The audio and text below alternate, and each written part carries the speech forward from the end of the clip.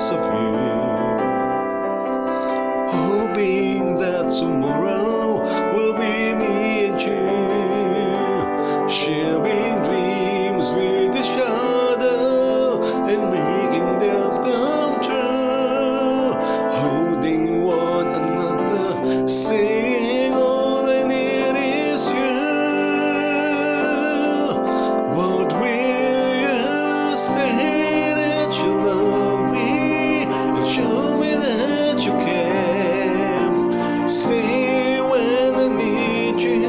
Señor.